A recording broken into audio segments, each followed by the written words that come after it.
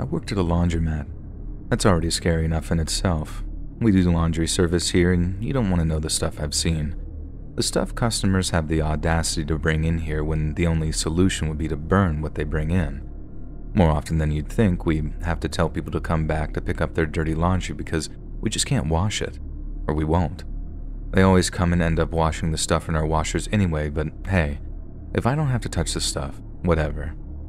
Now, the story I'm about to tell you is one that still confuses me to this day. It was Halloween 2007. We were supposed to close early, but my boss ended up telling me to stay late because he thought being the only laundromat open on Halloween night sounded like a good business opportunity. I don't think he would have thought that if he was the one that had to stay there, though. So instead of closing at 6 p.m., we were going to close at 11 p.m. I was promised double overtime, so I was all for it. My boss left around 7, gave me the keys, and told me to lock up before I left. I really thought it would be a super slow night, but it wasn't. A lot of older folks came in to do their laundry. They said they were grateful for the late hours on Halloween since it meant that there would be fewer kids in the store than usual. By 10 p.m., everyone was gone, and I didn't expect anyone else to come in that night. About 20 minutes before closing, a man came in. He was wearing torn up, dirty clothes and reeked of alcohol and I think weed.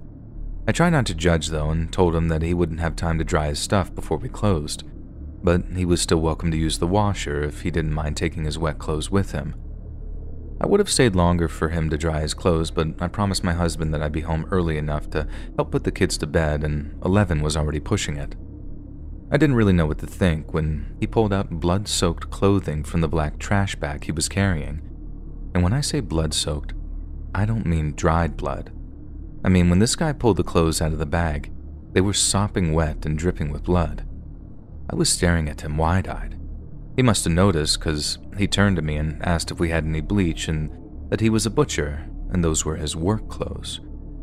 He bought some bleach, and all I could say back to him was, mm hmm. His clothes smacked against the sides of the washer as he loaded them in, and I watched the water and soap turn dark red as the machine swirled the clothes around. When the buzzer finally went off, signaling the cycle was over, I was relieved. He'd chosen the quick cycle, so it was only around 10 past when he was done, and I was excited to go home.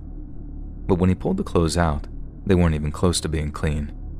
He came up to the counter and asked, well, actually begged, to please let him run them again. That meant another 30 minutes of me being there with this really sketchy guy washing gallons of blood out of his clothes, but I felt like I couldn't say no. I didn't buy the butcher's story and asked him again what all the blood was from, and this time, actually got a different story. He said that he wasn't actually a butcher and just used that as an excuse. He said it was actually fake blood that he bought from the Halloween store for a prank that he was playing on his buddies that night. He slipped and got it all over himself instead. I didn't buy that either, but I didn't want him to know that, so I agreed to let him run them through again. He restarted the washer after adding more bleach, and the water ran clear this time. He asked if I wanted to hear a scary story, and God knows I didn't, but again, thought saying no to this man wasn't an option, so I just said sure.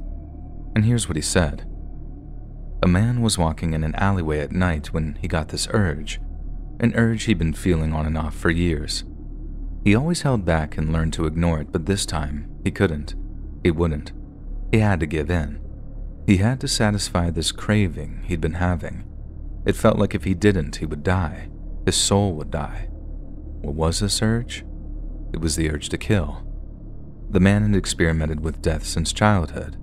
He would dissect dead animals he found and became weirdly fascinated by serial killers and the way they thought. He related to them. He even wanted to be like them sometimes. Well, the pre prison version of them at least. Killing animals was fine, but it was never enough. When he got into his later adult years and got a job, moving up a level was all he ever thought about. He found himself in that alleyway, fully prepared to go up to that level. He just didn't know exactly how. He didn't have a plan or know where to go, who to look for. He just knew that was the night. He walked through downtown and saw a woman standing on the corner. She was obviously a call girl, and he asked her if he could buy her services and if they could go step into an alley since he had nowhere else to take her. She agreed, and they walked together into the darkness. As he walked behind her, he saw an old rusty metal pipe laying on the ground beside a dumpster. He picked it up and hit her in the back of the head with it. He hit her so hard she fell to the ground completely unconscious. Her head began oozing blood, and he'd never seen so much blood come out of the human body before, and he was entranced by it. He sat down next to her and put his hands in the blood, rubbing it all over his face and clothes. He picked her up and laid her head into his lap and watched the blood drain over his body. The feeling he got was like no other. It was like something he couldn't even describe. I told him to stop telling me the story since it was grossing me out and really scaring me, and thankfully, he did. Before I knew it, the buzzer to the machine went off again, and he was loading his pink wet clothes into his bag and heading out the door. I was a little scared to leave after him, but I just wanted to get home. I grabbed my things, locked up, and rushed quickly to my car in the night. The next day, when I went to open the laundromat in the morning, there were officers waiting for me and I instantly knew why. There could be no other explanation. When they asked me if a man came in with bloody clothes the night before, and I told them everything. I asked how they knew he came in, and they said that they were able to follow him on security cameras and street cams and saw him come into the laundromat from the camera across the street. It turns out the story he told me was true, and it was, of course, about him. Thankfully, the woman he had obviously tried to murder narrowly survived after someone found her lying there not long after she was hit. She lost a lot of blood from her skull area and was on life support, but was expected to recover in time. They still haven't found the guy, terrifyingly enough, and thank God I haven't seen him since. There have been no other instances similar to that, so I don't know if he's attempted anything again. I keep a lookout in the news and pray he never tries to hurt anyone again even though with what he said, I know he probably will. I'm scared for anyone who has to face that evil man. I don't know what I would do if I saw him again, but I do know one thing. I'll never, ever work late on Halloween night at a laundromat, ever again.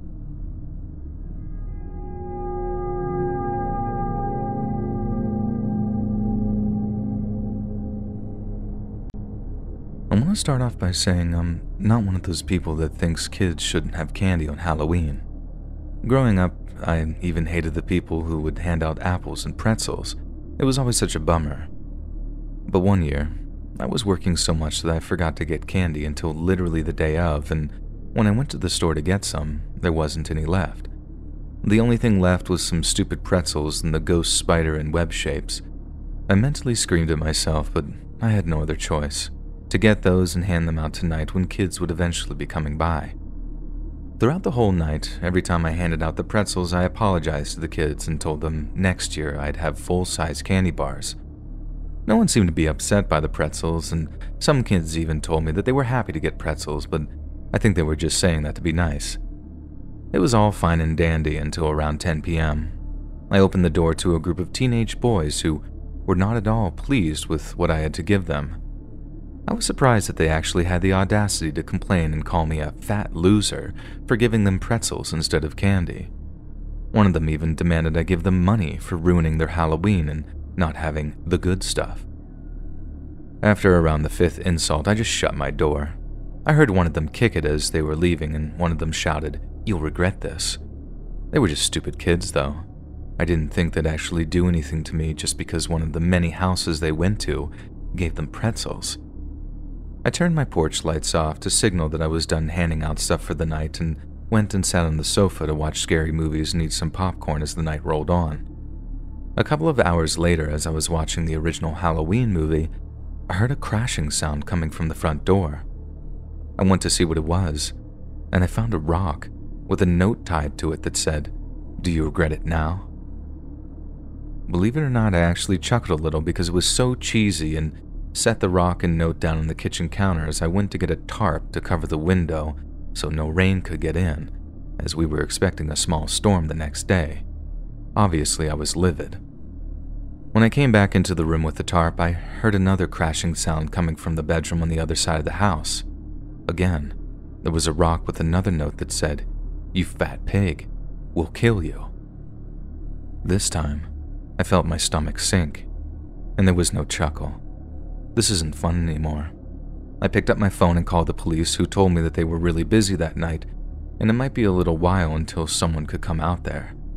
She told me to call back if the situation escalated, but if no one was actually harming me, they couldn't make what was happening to me a priority over anyone else who was calling them that night. They were very low staffed. So, I put tarps on both the windows and sat back down to just try and enjoy the rest of the movie, I guess. But I just couldn't. The whole time I was thinking about what the note said and the fact that I was just a sitting duck with my windows broken in like that. I heard my car alarm go off next, but I wasn't about to open the door to go outside and see what was going on. Instead, I headed upstairs and looked out my bedroom window. The windshield had been completely smashed in and the rest of the car didn't look much better. All I could think about was how these kids must be certifiably insane to do this over some stupid pretzels. All at once, bricks and stones came crashing through every window in my house. One narrowly missed my head as it passed through the window that I was looking out of. Glass was flying in every direction, and I was screaming as the sound of every window breaking was almost too much to bear. I had started to become scared for my life, so I grabbed the phone and called the police again to tell them that they needed to get there immediately. I saw the neighbors come outside to see what the noise was, and I yelled for them to call the police and get back inside. I rushed downstairs to get out of the house and take refuge with one of the neighbors, but that was never going to happen. At the bottom of the stairs was the same group of kids from earlier, the same kids who had been terrorizing me that night. Only this time, they were holding bats and rope. I rushed back into my bedroom and locked the door behind me, but that didn't stop them. They broke through the door like it was nothing and rushed towards me, screaming like they were going into battle or something. They beat me while screaming insults and laughing. I remember laying there and becoming numb to every blow that came across my body. And the laughing is what disturbed me the most. They were enjoying what they were doing, and eventually, all I saw was black. The police arrived some time later to find me curled up in the fetal position on my bedroom floor, bruised and bloodied. They called an ambulance that took me to the hospital, and I ended the night with eight broken ribs, a broken collarbone, torn ligaments, multiple lacerations to my body, a fractured eye socket, and fractured skull. They told me with the beating I got, I was lucky to have survived with no internal injuries or major brain damage. I spent a couple of months in the hospital and had to move in with my mother during my recovery. Thankfully, those idiots were stupid enough to brag about what they did in school. They must have bragged to the wrong person because one of the people they told ended up going to the police with the information. All in all, eight boys between the age ranges of 14 to 17 were arrested and charged with home invasion and attempted murder, as well as assault with a deadly weapon. They were all tried as adults and their sentences ranged from 12 to 25 years. Some made deals to talk about what had happened to get lighter sentences, and I was relieved that they got the time they did. I had little hope when they were originally arrested since they were all minors, I have fully recovered, and the only lasting injury I have has been PTSD from that night. All in all, I'm just glad I'm alive today, able to tell the story. Safe to say, I don't hand out pretzels anymore. I don't hand out anything. I refuse to answer my door on Halloween night, and I don't want to risk angering the wrong kids and possibly repeat the scariest night of my entire life.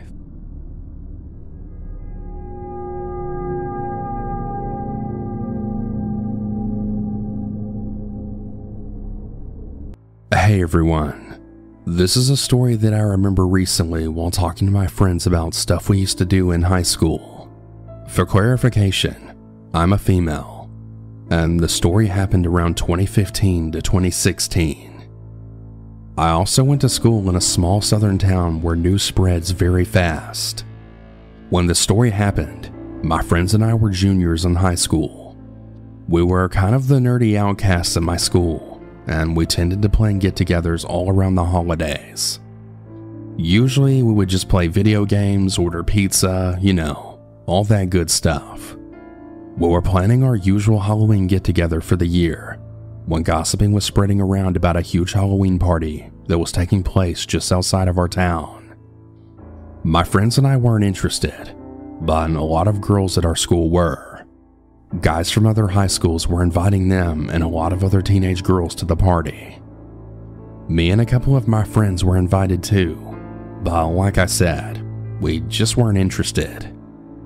The party was said to have tons of weed and alcohol at it, and my friends and I were pretty clean and sober. Though, because of how small, boring, and religious our town was, a lot of teens were willing to get involved in some trouble, especially if it involves drugs and alcohol. After Halloween, we had police at our school asking questions to specific students and even interrupting our classes to talk to people. Well, as it turns out, it wasn't a harmless Halloween party hosted by some teenage boys. It was actually a Halloween party hosted by creepy old men who had paid teenage boys to lure teenage girls to their house. They were found out because some girls tried to leave the party and were then stopped by one of the men. Our girl had brought her boyfriend and he stepped in to try and help her. One of the men got so furious by this that he ended up beating the shit out of the boyfriend to the point of unconsciousness. A neighbor close by where the party was called the police, and the men were then arrested swiftly. When the police searched the house, there were drugs, guns, and voicemails talking about kidnapping and selling some of the girls at the party. They even found text messages where they were taking pictures of the girls at the party for the approval of whoever they were talking to. The arrests and evidence spread like wildfire in our town. All of the people, especially parents, were terrified. I remember that some of the kids at our school had even moved away after that incident. I graduated college pretty recently, and the story came up again at another Halloween get together with my friends. It's still terrifying to think what might have happened if the police weren't called. What horrible things would have happened to our classmates if nobody witnessed anything. We all agree that it was sheer luck that everybody made it out okay, and that the boyfriend who stepped in recovered at the hospital. Just remember to be careful out there. You really never know what can happen.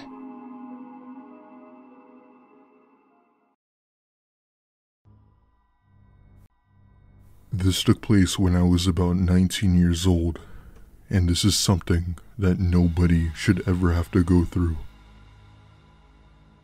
To cut to the chase, it was Halloween night of 2010, and my friends and I had been invited to a Halloween party from a few classmates that was open to pretty much anyone. Kind of like what you'd expect at a block party. I was not the most popular girl in school, so I really didn't know anyone except for the friend I was going with.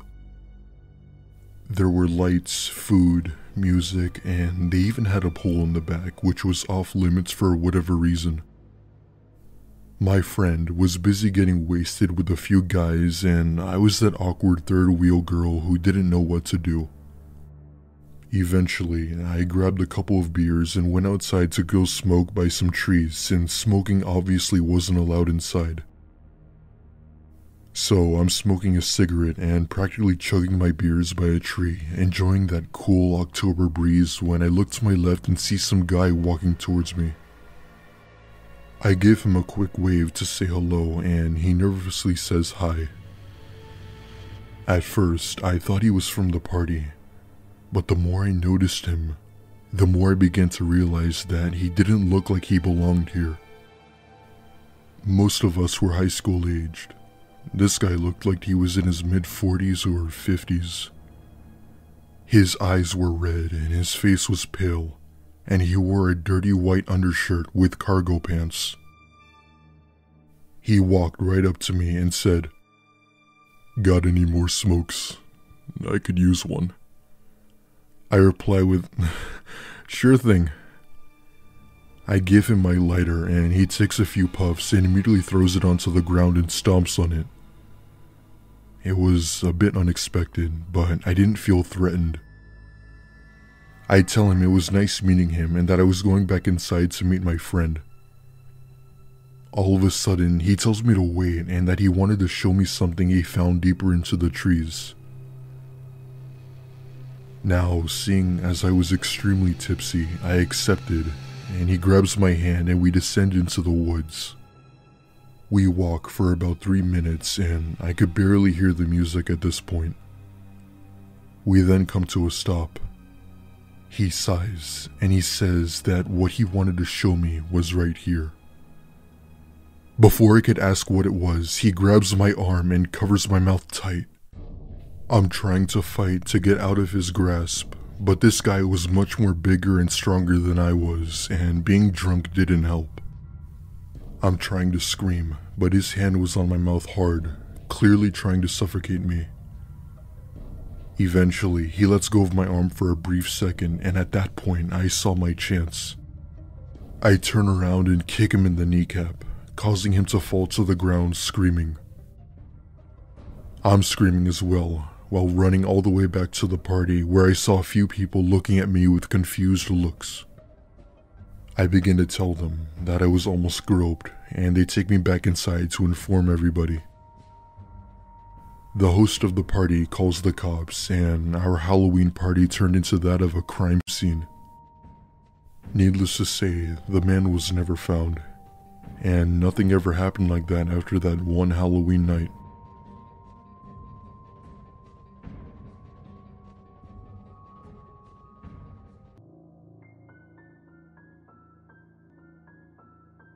For a little bit of context, I'm a female, and this happened on Halloween night of 2018, and I was working at the wildly popular Spirit Halloween store.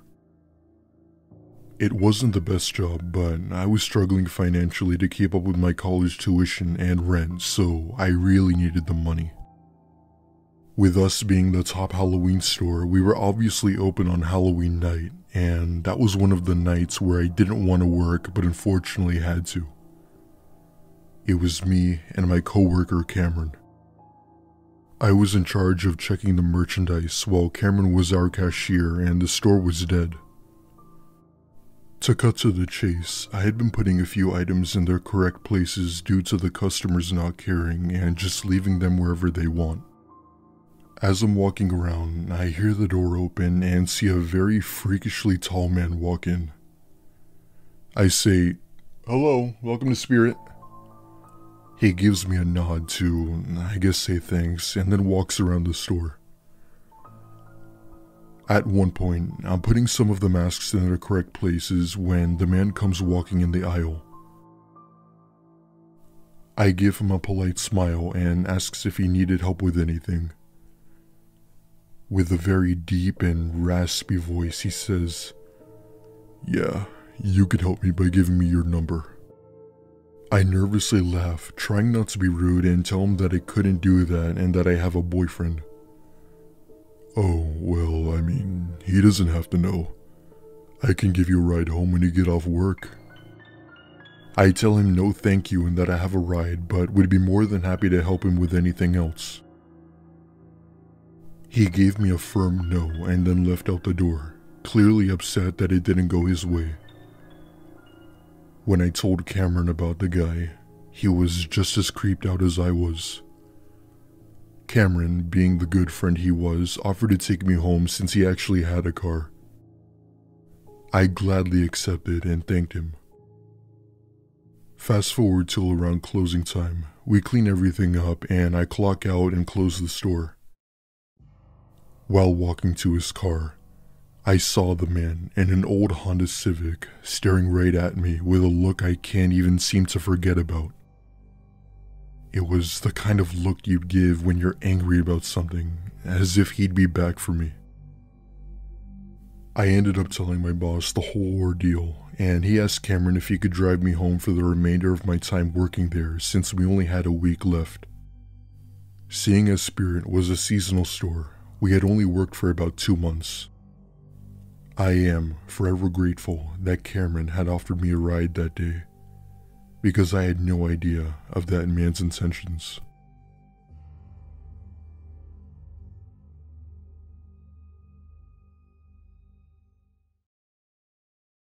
I'm a 32 year old female living in Colorado, and Halloween is by far my favorite time of the year.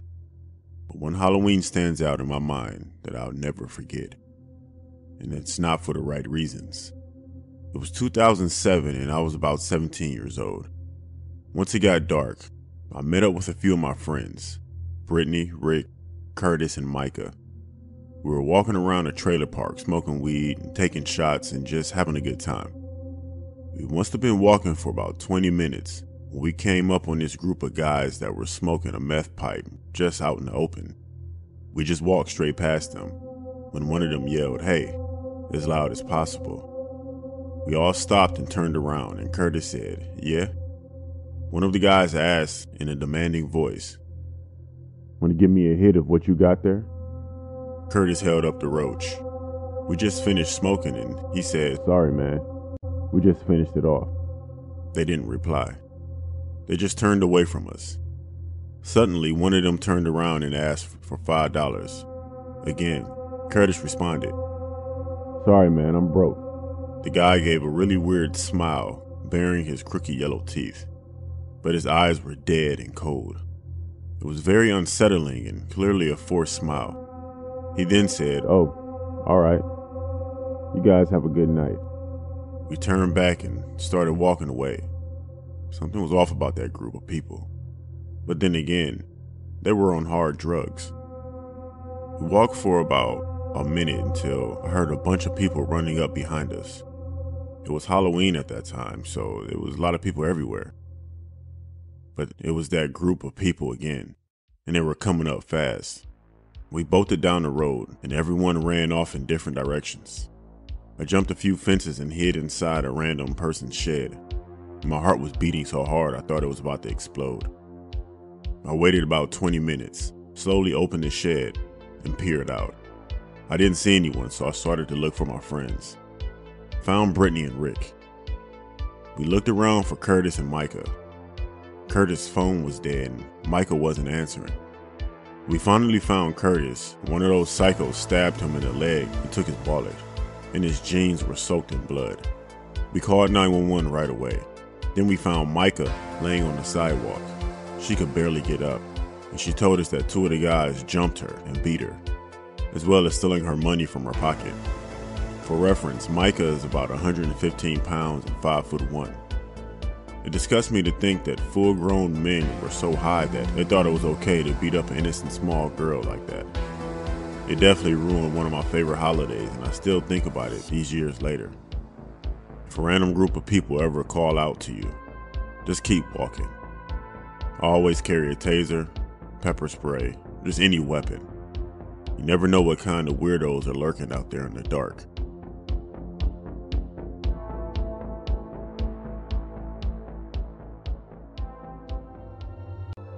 I'm a girl, and this happened when I was about nine years old.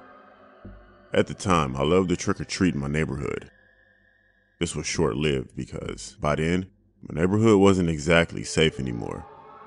That year, which was 1992, I attended a church Halloween party. There were many kids that I recognized from school and from nearby areas. I dressed up in a little devil costume that year, complete with paste on horns and, you know, the usual. Yeah, a little bold for a church party, but Several other kids were dressed as devils, and I saw many girls dressed as witches. The party host, who I'll call Father Francis, stood greeting everyone. I remember he was dressed like a version of Captain Hook. Every kid attending got goodie bags at the door from Father Francis. For some reason, every kid who was dressed up as a witch or a devil got a baggie of homemade cookies. They looked like sugar cookies, with powdered sugar dusting the tops. The party was great fun, but I was eager to get home and try a cookie. Father Francis had told us not to eat the cookies there because he said it's our little secret. I saw nothing sinister at the time, but looking back, something seemed weird and wrong. When I got home, I decided to try one the next day. I remember finally trying a cookie. I almost immediately spat it out in the garbage. It tasted really bad, and the powdered sugar was bitter tasting. My mom noticed my reaction and asked to try one. Her reaction was identical to mine. She demanded to know where I've gotten these from. I told her Father Francis had given me a bag of them. Grabbing the bag, she inspected the cookies. She smelled the bag, making a suspicious face. And then she tasted the powdered sugar. Her eyes widened, and she practically hurled the bag of cookies into the trash. Don't eat those, honey, alright? Those are bad. very bad cookies. As this was a Saturday, we had no way of alerting fellow classmates or friends. Monday, I learned the worst had happened. 16 children, all who had been given a bag of cookies, had been hospitalized for contamination. We learned the powdered sugar was in fact ant chalk. Of the 16 children that got sick, two died because they eaten a whole bag of cookies. Thankfully, I never got sick because I only bitten one, but never swallowed it. Father Francis ended up going to prison for 20 years for his involvement. He claimed in his defense, he was doing God's work by ridding the world of evil. He turned out to be an evil man who felt no pity for the children who got sick, or the two who had sadly died. I heard as they hauled him off to prison, he kept screaming, I did God's work. I'm a tool of God. I did nothing wrong. I did nothing wrong.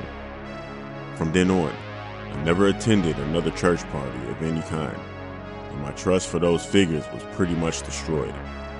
I also have almost never accepted baked goods from others again.